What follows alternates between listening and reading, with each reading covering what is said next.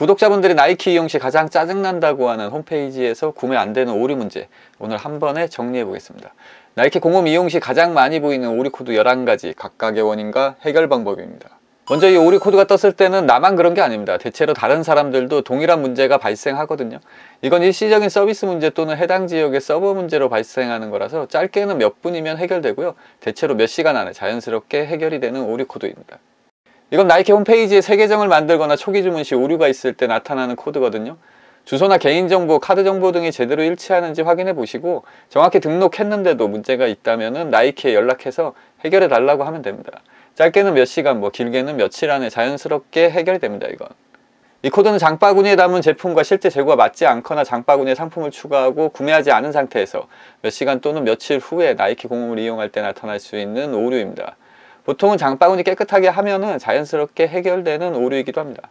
이 코드는 대체로 결제 수단에 문제가 있을 때 발생하는 코드거든요. 그러니까 결제 수단입니다.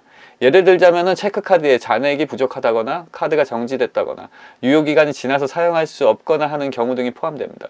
이 코드는 다른 결제 방법을 사용하면 해결되는 경우가 있습니다. 이 코드는 재고 문제로 발생하는 코드입니다. 장바구니 비우고 시간이 지나면 자연스럽게 해결이 될 겁니다. 이건 일부 프로모션 코드를 사용할 때 발생할 수 있는 오류 코드로 이용자가 할 수 있는 게 없습니다. 그냥 나이키에 연락해서 프로모션 코드 사용하는데 문제 있다고 하면은 자연스럽게 해결이 될 겁니다. 이 코드는 결제 또는 계정 문제로 발생하는 오류로 결제 문제일 때는 다른 결제 방법을 사용하면 해결되는 경우가 있습니다.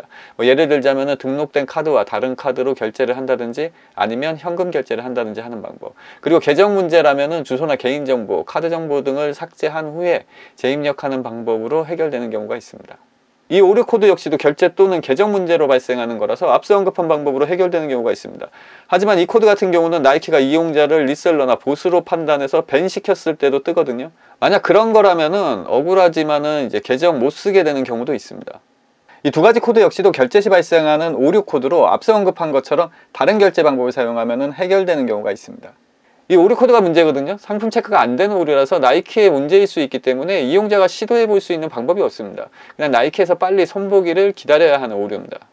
이렇게 11가지가 나이키 공홈 이용 시 자주 발생하는 오류 코드인데 직접적인 원인과 상관없이 나이키의 일시적인 에러로 앞서 언급한 코드들이 뜨는 경우가 더 많기 때문에 에러 코드가 뜨면은 기본적으로 이제 로그인을 다시 해본다든지 캐시 및 쿠키를 지운다든지 뭐 운영체제나 브라우저를 바꿔서 시도하면은 그냥 되는 경우들도 있습니다. 아니면 뭐 휴대폰으로 해서 안 됐다면 태블릿이나 노트북과 같이 다른 장치를 사용했을 때 되는 경우들도 있고요. 광고 차단 프로그램을 쓴다면 그걸 비활성화 시킨다든가 IP를 아예 변경하는 방법 등으로도 간단히 해결되는 경우가 있습니다. 오늘 리뷰는 여기까지고요. 도움이 되셨다면 구독과 좋아요 부탁드립니다.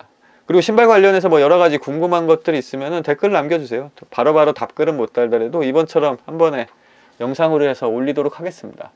감사합니다.